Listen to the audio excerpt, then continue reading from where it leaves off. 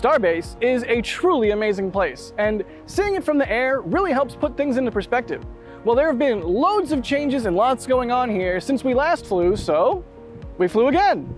Some buildings have grown up, some have been demolished, a whole lot of things have been moved around, and of course, we've had loads of stacking and destacking and restacking with good old Ship 25 and Booster 9 there. But thankfully, they are restacked, and that means full stack testing is back on the menu. What's up, everyone? I'm Jack Beyer with NASA Spaceflight, and this is your Starbase Update, Flyover Edition.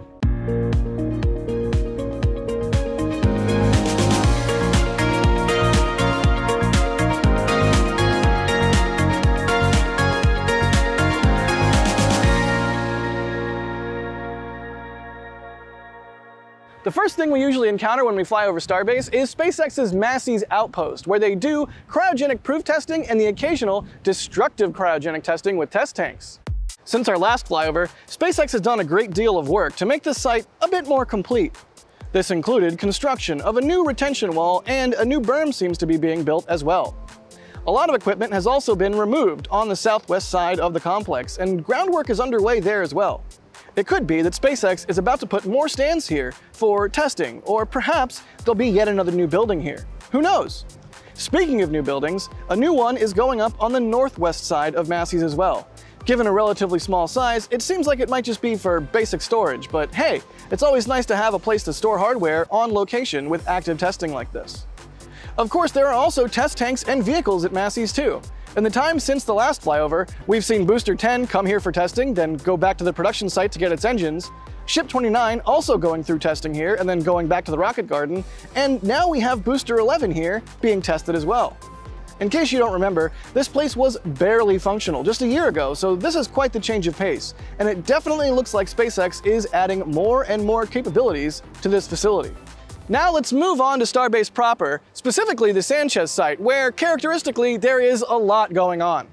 Do you remember when SpaceX wanted to take its own oxygen and nitrogen out of the air and put up a propellant production plant with its own air separation unit?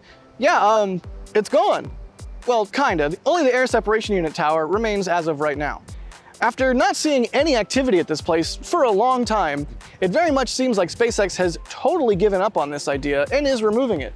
But who knows? Maybe they're just moving it someplace else, or they'll put it back at a later time, in another place. Plans change, focus changes, it's all part of the process here. Also at the Sanchez site, teams are building several ring structures that we've discussed quite a lot in the past. This white one here, we're confident now it is for booster engine installation, and we'll talk about this more in a bit. But the two other rings, painted in black, have been more of a mystery, and now we can see one of them has had booster hold-down arms installed.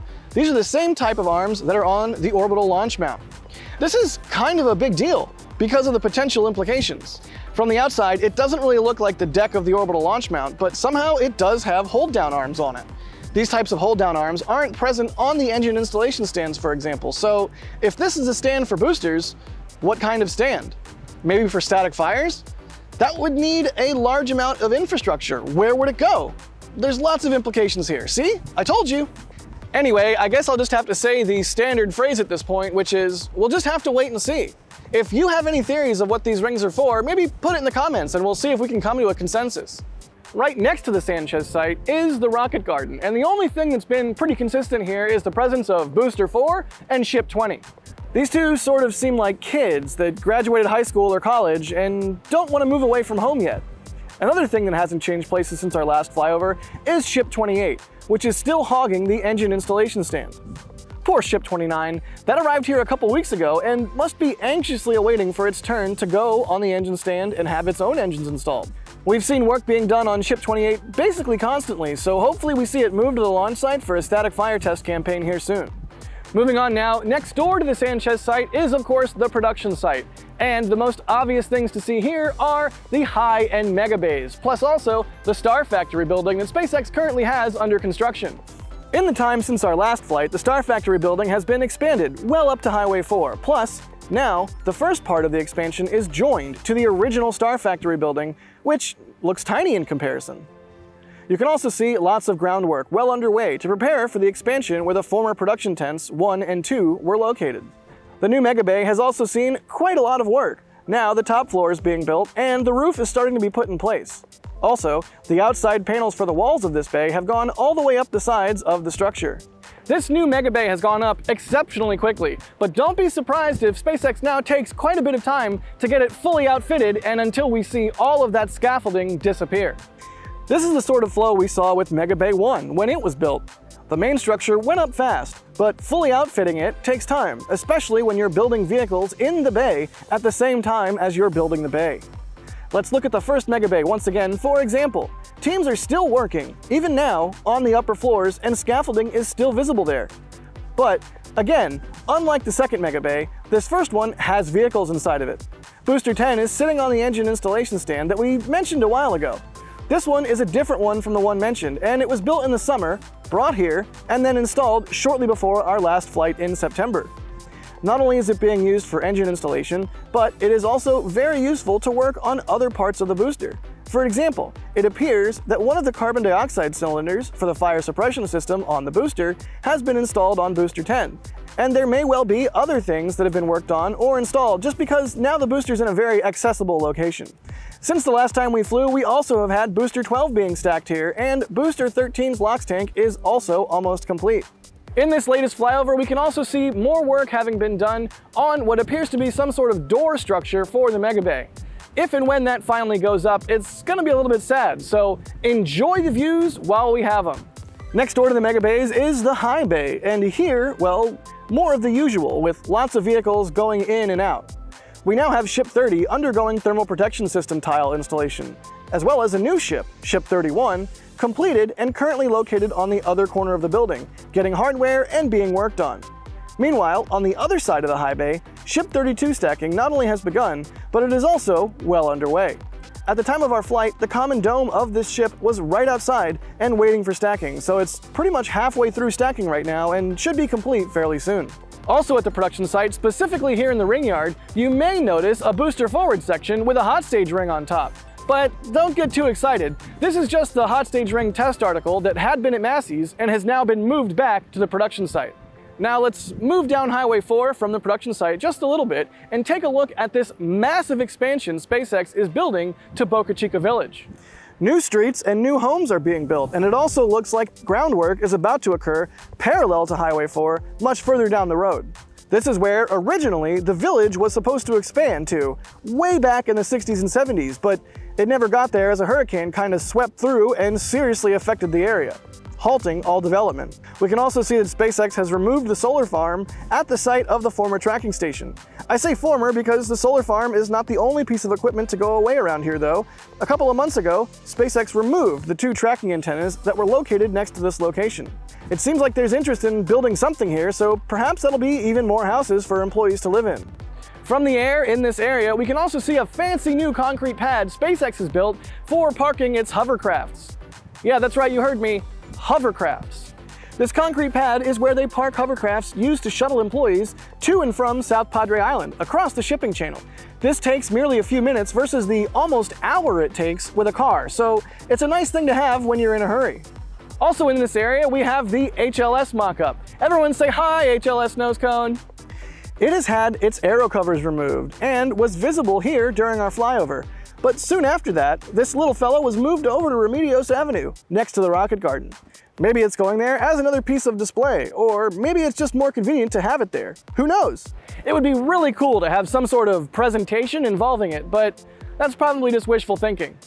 Let's move on now to the launch site, where so much has been going on, and it's really been quite a ride, especially for Ship 25. We can see it from the air, but we are actually very close to not seeing a full stack at the time of our flight. That's because teams restacked and destacked the vehicles earlier in the week, all while SpaceX tweeted that a launch rehearsal would be happening, which of course it didn't. Workers started inspecting the booster and the ship and looking at all sorts of places on either vehicle. And then they were restacked again this Friday, literally as I was driving to the airport for our photo flight. So what's up SpaceX? Are you gonna do that wet dress rehearsal or what? We do have some road closures scheduled for this week, and SpaceX recently tweeted yet again about performing a launch rehearsal. But it also mentioned additional pre-flight tests ahead of its rehearsal. This was a bit confusing, but it does sound like a full wet dress rehearsal is a few more days away than we previously thought. Just this Sunday, we had a couple partial propellant loading tests. This is where the ground system loads propellants on the vehicles, but only fill the tanks partially. You can see the partial load by the amount of frost on the booster and ship. In fact, the ship was barely filled at all, as no frost was visible, but there was clearly some activity with the related GSE that fuels it, so perhaps if they loaded anything, it was just the bottom of each tank. In any case, it wouldn't be surprising if we see SpaceX do more tests like these before the launch rehearsal. You know what I always say, more data, more better. Speaking of gathering more data, another interesting thing that happened this week was the appearance of the Fish and Wildlife Service here on location in Starbase. It's not super obvious what was going on, but clearly it would make sense if they're doing some additional work and gathering some additional data before approving SpaceX's water deluge system along with the FAA. At the launch site, there's a bunch of other stuff going on as well. Remember all of that groundwork on the suborbital side that we thought might end up being for something interesting? Well, it's, it's a parking lot. Yeah, it's, it's just more parking spaces. It's just a big parking lot.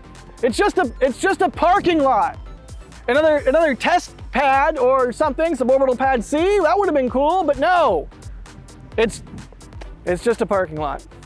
At least as a consolation prize, this week we had some fun with Ship 26. Even though it's an abomination, in the last week it was tested and made some fire and noise. First, it conducted a single engine pre-burner test, and then that was followed a few days later by a single engine static fire test.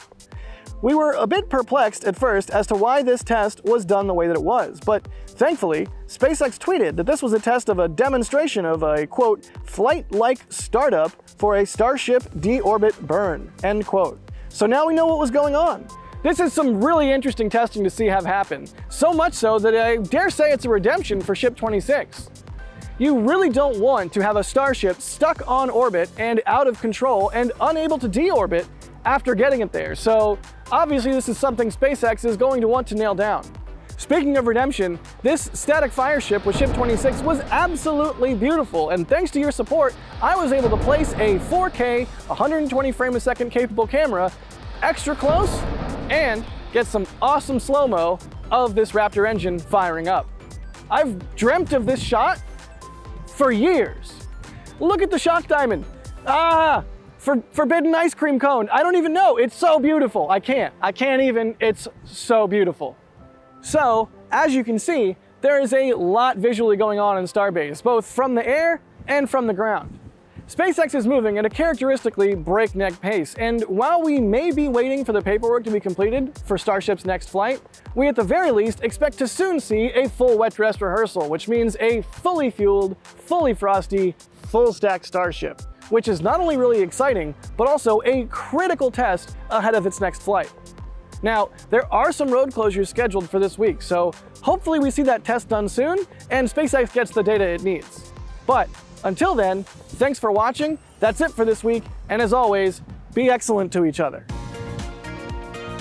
Also, I got new sunglasses. Do you like my new sunglasses? There's, there are new sunglasses. Watch, I can do a video with my sunglasses. I'm doing a video with my sunglasses. Oh wait, that was a photo. Now I'm doing a video with my sunglasses. Haha, haha, haha. Video glasses, who knew? So, obviously we had a wet dress rehearsal during the editing of this video. That's right. It got all frosty. They did a wet dress rehearsal. They did it. Next up, launch. Let's go.